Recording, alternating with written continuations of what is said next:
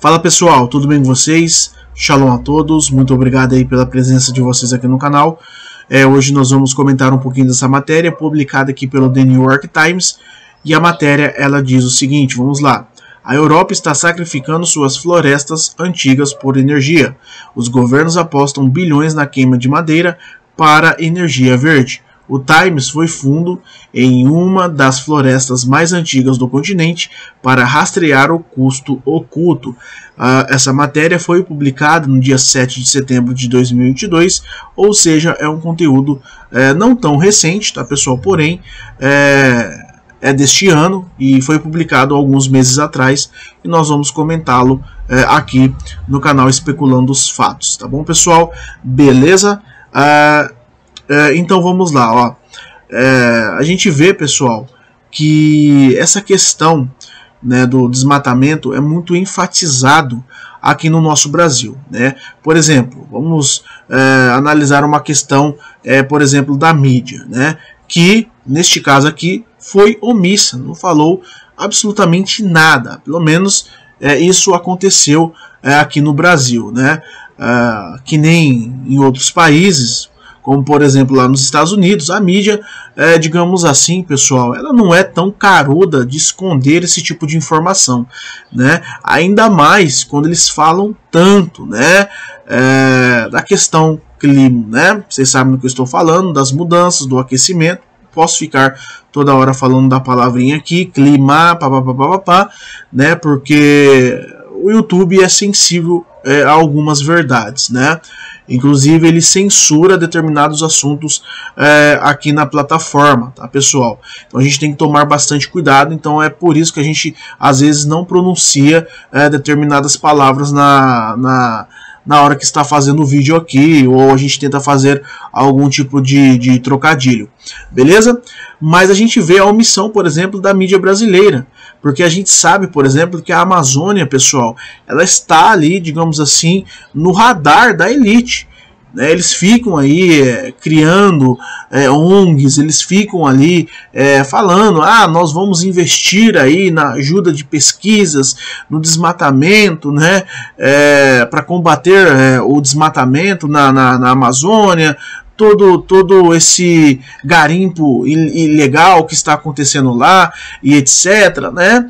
É, todo esse, esse blá blá blá, mas a gente sabe que no fundo, no fundo, é, eles estão é, comprando né, a Amazônia, né, pessoal. E a gente sabe que se um dia né, entrar alguém uh, que vai tentar fazer alguma coisa para evitar que esses sujeitos né, uh, não invada é, mais a, a Amazônia, né, com essas tais alegações, ah, nós, nós estamos querendo é, é fazer pesquisas, nós estamos ajudando vocês a combater o desmatamento e etc. Né, eles, eles vão se apropriar né, é, do território da Amazônia. Eles vão aí inventar alguma coisa lá naquela organização né, que, que é a central deles e etc. É, eles vão enviar aí é, militares para dominar a Amazônia. Alguma coisa eles vão inventar, pessoal. Eles vão inventar, né? Tanto que é, eles já passam nas escolas americanas, né, no ensino americano e até mesmo da, da Europa, que a Amazônia é, é, é patrimônio mundial, pessoal. Ela não pertence a ninguém. Eles não consideram que a Amazônia, por exemplo, pertence ao Brasil.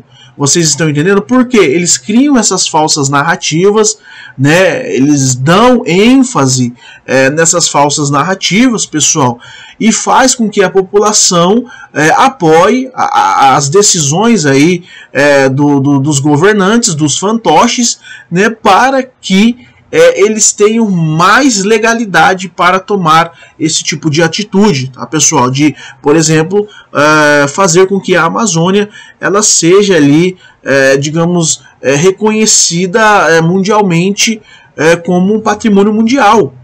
Vocês estão entendendo, pessoal? Então, assim, tem uma forte narrativa por trás da Amazônia, né? É uma narrativa que já está sendo condicionada há um bom tempo está sendo condicionada há um bom tempo, inclusive dentro das faculdades, das universidades, dentro do ensino médio, né? Então é, é, esse, esse, digamos assim, esse esquema, essa narrativa já está sendo condicionada há um bom tempo, pessoal.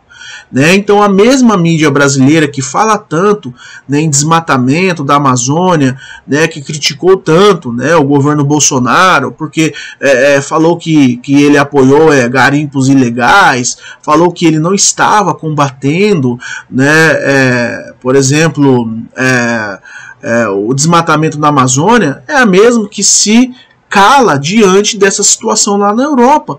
Não fala absolutamente nada, pessoal, porque é, esse tipo de assunto é, não é tratado como algo importante, principalmente para essas pessoas que defendem é, essa falsa narrativa é, das mudanças do aquecimento. Porque as pessoas vão começar a questionar, a especular, vão começar a confrontar essa falsa narrativa, pessoal. Né? Eu creio que o único jornal, eu estava pesquisando aqui para acessar essa matéria, o único jornal que falou alguma coisa, pessoal, foi o Estadão. Porém, você tem que pagar. A grande maioria das pessoas não vai pagar para ler o Estadão, cara. A mesma matéria do, do, do The New York Times. Eles estavam republicando lá, é, logicamente, é, estava toda traduzida a matéria, etc. Mas eles estavam republicando lá, pessoal. A matéria ela está ah, gratuita aqui no, no, no, no, site oficial do, do New York Times. Vocês estão entendendo? E foi o único jornal que falou, é, digamos assim, das mídias oficiais, que estava falando, pessoal, desse evento é, que está sendo realizado lá na Europa né? Aí a gente vê que a mídia, tá pessoal, ou as mídias, ok? É, chega a determinado ponto que elas não conseguem mais omitir a, a, sua, a sua narrativa, né? Ou suas narrativas, né, pessoal? Por exemplo, é, a narrativa que nós estamos comentando aqui é das mudanças e do aquecimento, certo?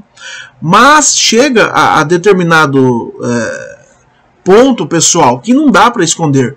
Só que aí eles começam a liberar a informação. O que, por exemplo, está acontecendo lá nas florestas antigas é, é, da, da Europa, as florestas ancestrais. Eles não conseguem mais é, omitir essa informação. Só que eles trazem à tona é, uma informação um pouco tendenciosa.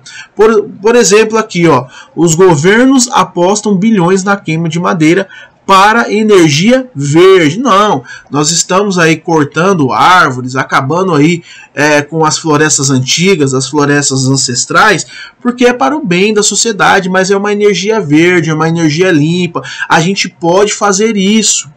Cara, mas não bate com a narrativa que eles estão defendendo, que é o desmatamento. Que é contra, logicamente, o desmatamento.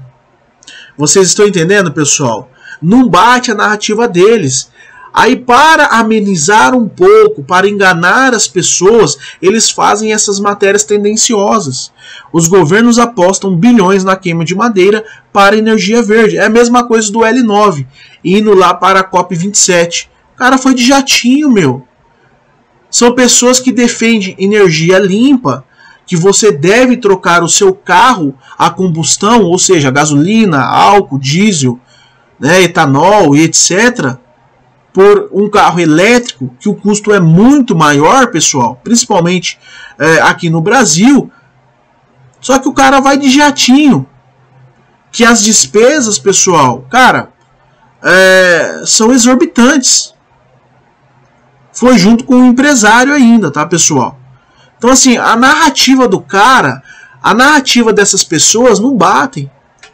Por isso que eu falo que é de suma importância a gente entender e se informar sobre essa questão é, das mudanças e do aquecimento. Essa falsa narrativa que já está sendo criada, pessoal, por muito tempo. Eles utilizam as mídias para fazer com que as pessoas abracem essas falsas narrativas, dão legalidades né, para essas falsas narrativas, assinem o contrato, certo? E aí eles dão ainda mais autoridades, né, eles dão ainda mais autoridades para os, né, para os, os seus representantes, né, os fantoches, né, aqueles que se dizem representar o povo, é, irem lá no Congresso, no Parlamento, certo? Criar leis que vai controlar é, é, a população. Por isso que eu falo também aqui no canal, gente, a questão das mudanças do aquecimento é controle. O objetivo dessas pessoas é controle, galera. Vocês estão entendendo? É controle e levar o, o número maior de pessoas possíveis ao Sheol, à perdição. Os caras querem controlar aquilo que você come, eles querem te deixar doente, eles querem controlar aonde você vai, como você se veste. Eles ficam criando falsas ideologias, conflitos raciais, conflitos culturais. Vocês estão entendendo, pessoal? Eles criam a divisão, eles desinformam as pessoas, eles criam falsas religiões. Uma delas é conectadas, é, uma dessas religiões, né, é, são conectadas às escrituras, à Bíblia, catolicismo romano, certo? O catolicismo romano é uma falsa religião. O protestantismo, ou seja, os evangélicos, é uma falsa religião. E aí eles usam a Bíblia, a palavra, eles distorcem aquilo que está nas, nas escrituras para fazer com que as pessoas se percam, pessoal. Né? O meu povo perece por falta de conhecimento. E olha só, pessoal, tá aí, ó. Olha só. Né? Não, mas é tudo para o bem. É tudo para o bem da humanidade, para o bem da sociedade. Né? É energia verde. Tá, ó. Energia verde, não tem problema, né?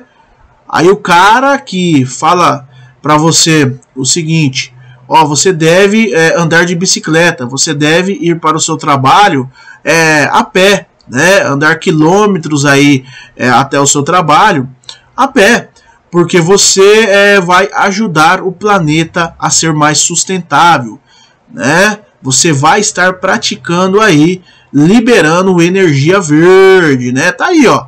Olha o tanto de madeira que esses hipócritas, né? É, climatorianos, certo? Porque eles também têm até mandamentos. É uma religião. Eu falo que é uma religião, mas muitos não acreditam em mim, né? Até se desinscreve aqui do canal mas é uma religião, eles têm os seus mandamentos, só que é, é, é, é igual ao sistema religioso, né? Eles não praticam os mandamentos que estão é, é, nas escrituras, né, pessoal? Na verdade, eles tentam descredibilizar os, os mandamentos do, do Pai. É assim também é, dentro dessa religião é, chamada é, climatorianos, tá, pessoal? Inclusive, eu já fiz um vídeo aqui no canal falando desses mandamentos, ok? Vamos lá, ó. Os madeireiros colheram essas árvores é, de uma floresta protegida e as empilharam em um caminho é, lamacento no norte da Romênia, tá pessoal? É, eu estou lendo com calma aqui porque é, pode haver, tá pessoal, um erro de tradução, porque eu traduzi aqui a página, ok? Tá aí, ó. Olha só a quantidade de madeira que eles estão cortando, mas é energia verde, energia verde. Fica tranquilo, fica tranquila que é energia verde, tá? Os troncos faziam parte de uma uh, das florestas mais ecologicamente significativas da Europa. Né? Energia verde, fica tranquilo, né? Não tem problema. Nós os rastreamos enquanto eles uh, eram carregados em caminhões. Tá aí, ó. E a mídia, ó, caladinha. A mídia brasileira, ó, caladinha, omissa. E ainda falam que eles é, são jornalistas profissionais e que nós devemos confiar neles. Tem como, cara, nós confiarmos na mídia brasileira, principalmente é aquilo que eu falo, né, meu? Pelo menos lá fora, eles não, omitem determinadas informações na caruda, meu. Eles não omitem. Eles soltam uma informação, logicamente é uma matéria tendenciosa, eles estão tentando passar um pano aí, né? Um pouco aí é, para esse absurdo, né? Que está acontecendo uh, lá na Europa. Por que, que eu estou falando que é absurdo? Porque eles são hipócritas. Eles são hipócritas, pessoal. Eu coloco primeiramente, né? dentro, dentro logicamente, do, do plano físico, a vida do ser humano, mano. Se é necessário é, é, é, cortar uma árvore para fazer com que as pessoas é, possam ficar aquecidas dentro da, da sua casa, eu sou a favor disso. Né? Tanto que é, as pessoas que viviam na Europa antigamente não tinha é, toda essa tecnologia que eles têm hoje de aquecedor e etc. Eles cortavam lenha, meu, para se aquecer, tá? Só que é, o que, que eu estou falando aqui? É, combatendo essa falsa narrativa hipócrita das mudanças do aquecimento. Eles não praticam, pessoal. Eles não praticam aquilo que eles falam diariamente através das mídias oficiais. Vocês estão entendendo? Agora, uma pergunta que eu faço para vocês: será que realmente essa madeira é para é, é, ajudar as pessoas, a aquecer o lar dessas pessoas que estão sofrendo com, com esse problema é, é de energia na Europa? Ou é para é, coisas fúteis? Essa lenha é para aquecer os lares dos europeus? É para fazer comida ou é para coisas fúteis? Uma pergunta que eu faço para vocês. Fica aí no ar. É para aquecer o, os lares dos europeus aquecer a comida, né, fazer o, o, o rango, ou é para coisas fúteis, por exemplo, internet, né? Vamos colocar aqui ligar o micro-ondas, né? Carregar o tablet, carregar o celular, porque se a gente for levar aí num princípio de sobrevivência, isso aí é, é coisas fúteis. É coisas fúteis. Né? Agora, se for para ligar um aquecedor, para ajudar a pessoa né, é, a, a não congelar dentro da sua própria casa, aí ok.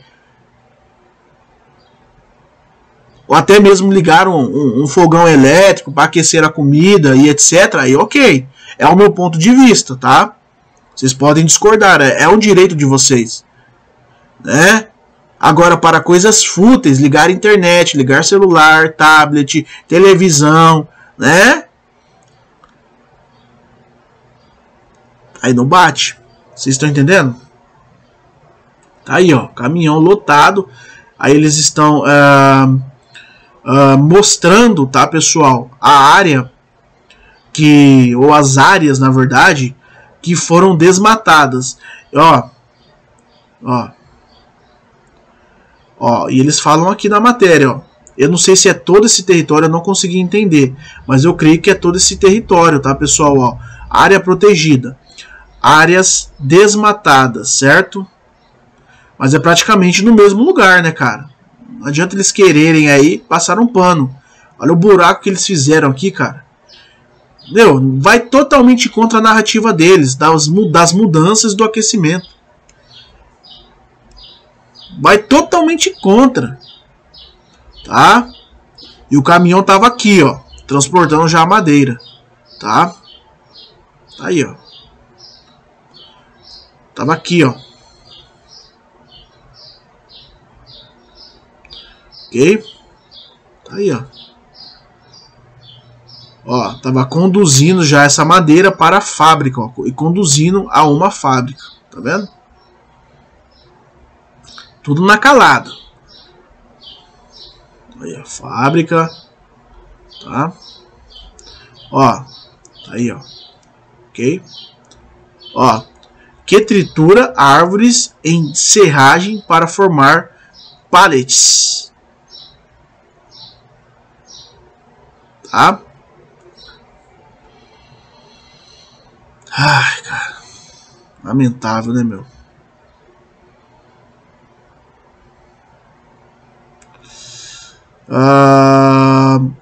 Pales de madeira como esses são comercializados em toda a Europa como uma forma de transformar resíduos e detritos em energia verde.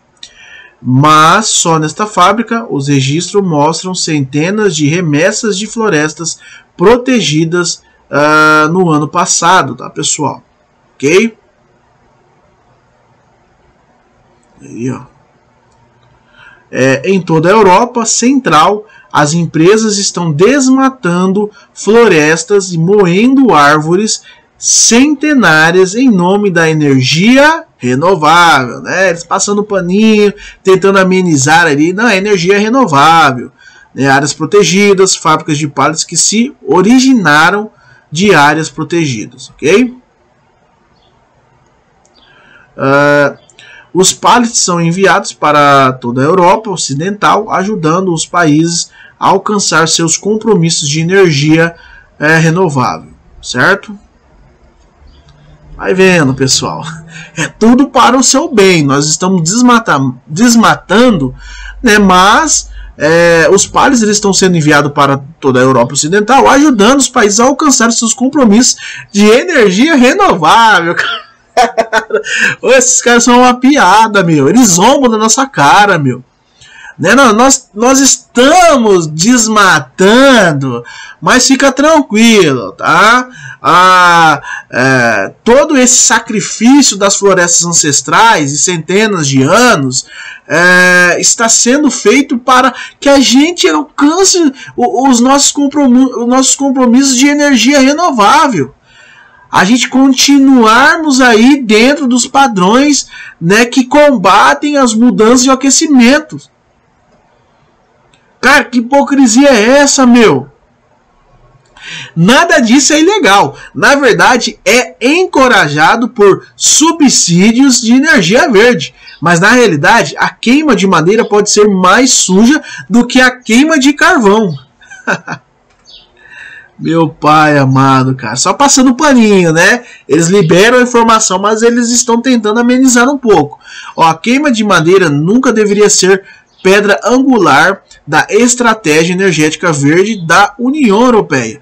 Quando o bloco começou a subsidiar a queima de madeira há mais de uma década, isso foi visto como um impulso rápido para o combustível renovável e um incentivo para mover casas e usinas de energia para longe do carvão e do gás.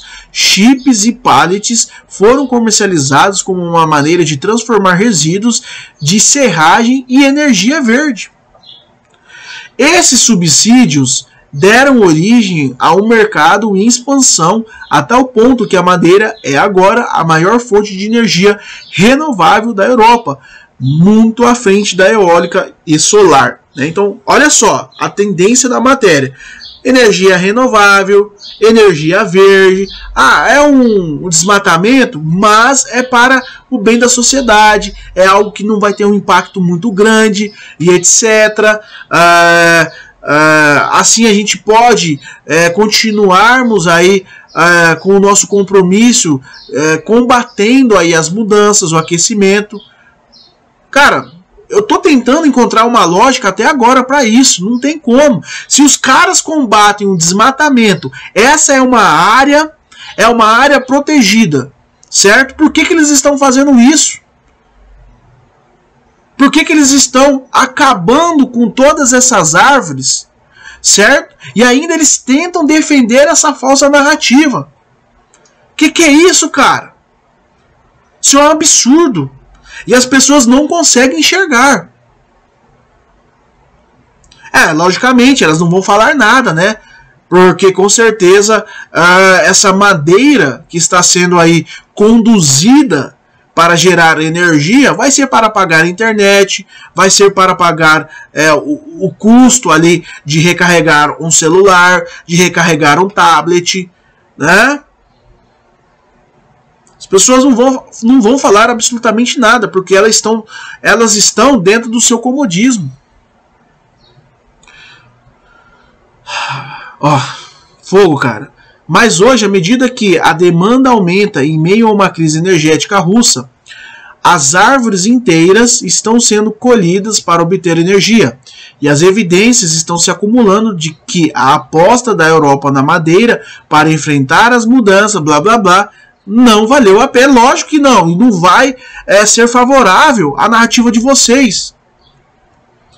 As florestas na Finlândia e na Estônia, por exemplo, antes vistas como ativos chaves para reduzir o carbono do ar, agora são a fonte é, de tanta exploração madeireira que os cientistas do governo as consideram emissoras de carbono.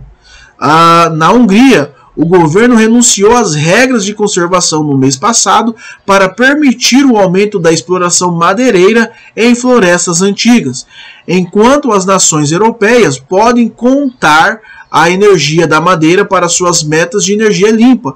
A Agência de Pesquisa Científica da União Europeia disse é, no, no, ano passado que a queima de madeira liberou mais dióxido de carbono do que teria sido emitido se essa energia viesse é, de combustíveis fósseis, tá? Nossa, cara. Abre aspas. As pessoas compram pallets de madeira pensando que são escolha sustentável, mas na realidade estão impulsionando a destruição das últimas florestas selvagens da Europa, disse David Gale, uh, da Agência de Investigação Ambiental, um grupo de defesa que, que com sede em Washington, que estudou o uso da madeira na Europa Central. A indústria tornou-se tão grande que os pesquisadores não conseguem acompanhá-la. A pesquisa oficial da União Europeia não conseguiu identificar a fonte de 120 milhões de toneladas métricas uh, de madeira uh, usadas em todo uh, o continente no ano passado, uma lacuna maior do que o tamanho de toda a indústria madeireira da Finlândia. Os pesquisadores dizem que a maior parte disso provavelmente foi queimada para o aquecimento e eletricidade. Tá? Ai, cara. Sim, não bate a narrativa do, do, dos sujeitos. Eles estão falando que, pelo que eu estou entendendo aqui, ok? Que a madeira ela é mais poluente do que a própria produção, por exemplo, de, de energia é a carvão, tá pessoal? É, e aí as pessoas que defendem aí essa narrativa das mudanças do aquecimento, né? É, pelo menos essa essa instituição aqui que tem sede lá em Washington está falando que isso não é bom. Pelo menos tem alguém sensato, né? Que defende essa falsa narrativa, mas não concorda, por exemplo, com o que está acontecendo lá na Europa, né? E assim, se a gente for analisar mesmo, pessoal, é, toda essa questão aqui é, que está acontecendo na Europa não bate com a, com a narrativa das mudanças do aquecimento, né? E eles estão mais preocupados com a Amazônia, certo? Com a Amazônia, porque lá é logicamente um pedaço de, de ouro da terra, meu. Do que com a própria Europa. Porque a, a Europa, galera, ela não produz absolutamente nada. Não tem. Ela não é uma grande produtora de alimentos. Né? Então, assim, eles não estão nem aí. Não estão nem aí, pessoal. Vocês estão entendendo? Ó, na próxima semana, o Parlamento Europeu está programado para votar um projeto de lei que eliminaria a maioria dos subsídios da indústria e proibiria os países de queimar árvores inteiras para cumprir suas metas de energia limpa. Apenas a energia proveniente de resíduos de madeira com a serragem seria qualificada como renovável e, por conseguinte, seria elegível para subsídios. Uh, mas vários governos europeus dizem que agora não é hora de se intrometer em uma importante indústria, indústria de energia. Olha só. Vocês viram aqui, mais vários governos europeus dizem que agora não é hora de se intrometer em uma importante indústria de energia. É lógico, eles não vão se intrometer. Eles vão ficar sem energia se eles não uh, cortarem essas árvores, né? Quando eles é, retomarem a aceleração da agenda verde, com certeza eles vão começar aí a inventar um mundaréu de leis tirânicas para fazer com que as pessoas, pessoal, uh, sejam controladas uh, com aquela narrativa: ah, nós estamos salvando o planeta, nós estamos é, criando energia renovável, energia limpa, energia verde, toda essa balela que está sendo falada aqui na matéria. Né? Uh, então, assim, vamos lá, com o fornecimento de gás e petróleo russos em perigo. Né? Na República Tcheca, manifestantes tomaram as ruas furiosos com o aumento do, dos custos de energia e as autoridades francesas alertaram para os, os apagões neste inverno. Uh, documentos internos mostram que os países da Europa Central uh, e dos países nórdicos, em particular, estão a esforçar-se para manter vivos os subsídios à madeira. O debate é um exemplo agudo é, de um dos principais desafios que os governos enfrentam na luta contra as mudanças, é, como equilibrar a urgência de um planeta é, em aquecimento com a necessidade imediata de empregos, energia e estabilidade econômica. A União Europeia tem sido líder na definição é, de políticas verdes, mas também está correndo para encontrar fontes de energia à medida que a Rússia limita seu fornecimento de gás natural. Em documentos que circularam entre os legisladores sobre a mudança de regras proposta, a Letônia alertou para um possível impacto negativo sobre os investimentos e as empresas. Ah, a Dinamarca defendeu que essas decisões deveriam ser deixadas é, ao critério é, do, do, dos governos nacionais. Um inverno sem gás russo confiável para sobre o debate, né?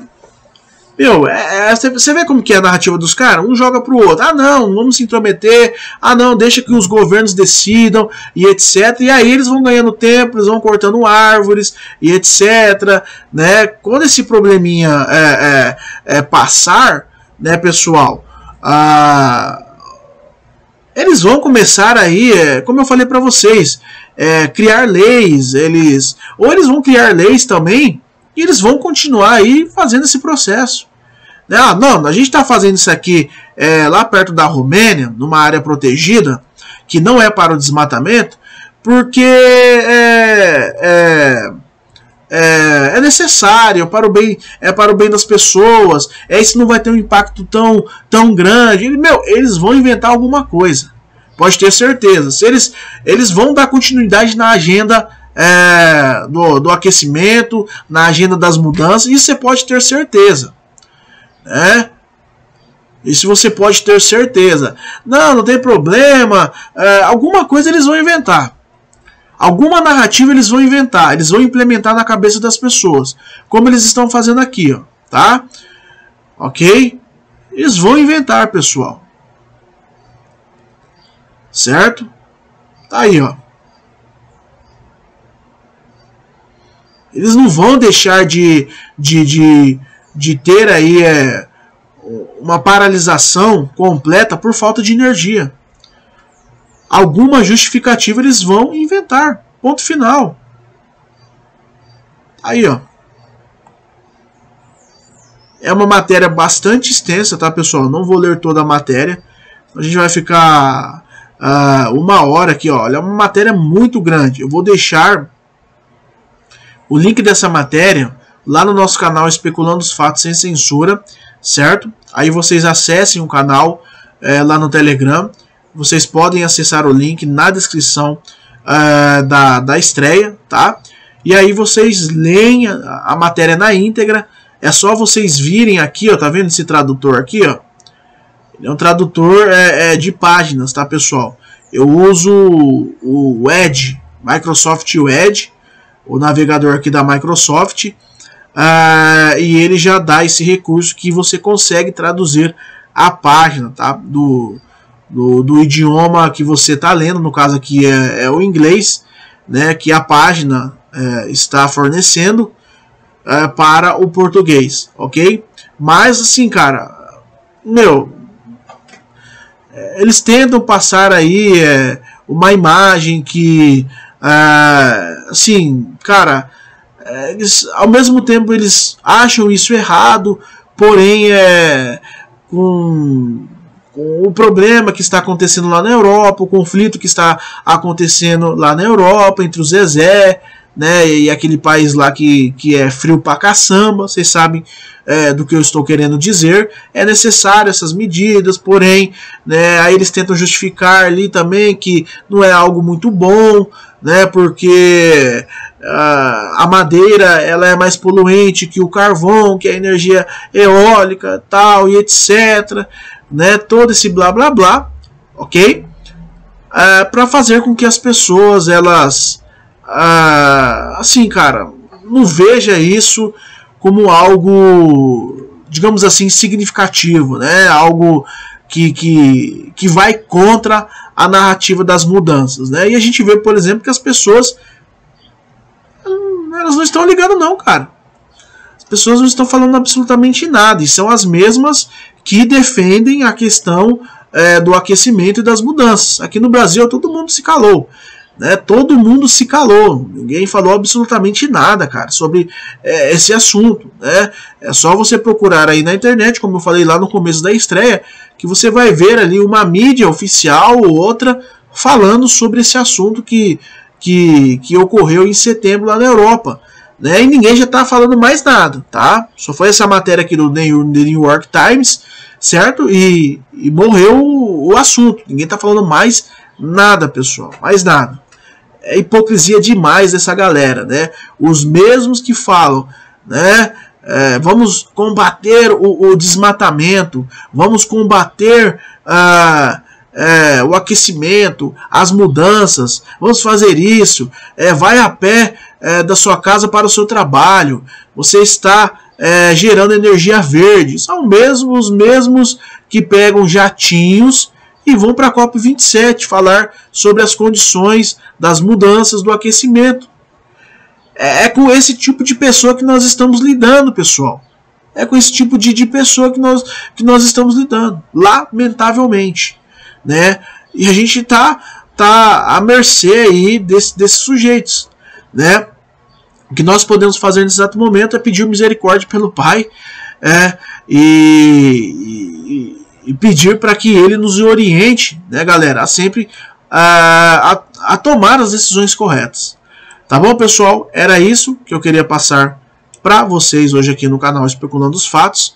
Hoje nós teremos uma live no canal, onde vai estar participando é, meu amigo e irmão é, Akira do Nada, também meu amigo e irmão Maurício Zimmermann, tá, pessoal?